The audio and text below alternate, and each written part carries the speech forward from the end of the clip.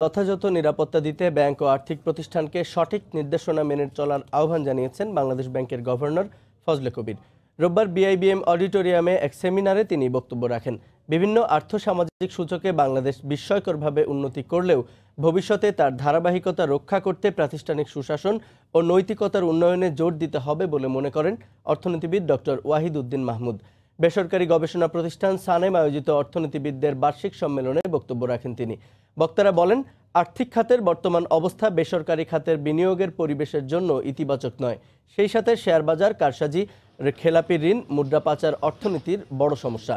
সরকারি বেসরকারি সব পর্যায়ে জবাবদিহিতার মাধ্যমে দুর্নীতির হ্রাস টানার তাগিদ দেওয়া হয় সেমিনারে। Then why at the same time you have to a campaign, a moral campaign of um, willful defaults, uh, সুশাসনের যে সূচকগুলো আন্তর্জাতিক সূচকগুলো এই সূচকগুলোতে বাংলাদেশের অবস্থান অত্যন্ত নিচে।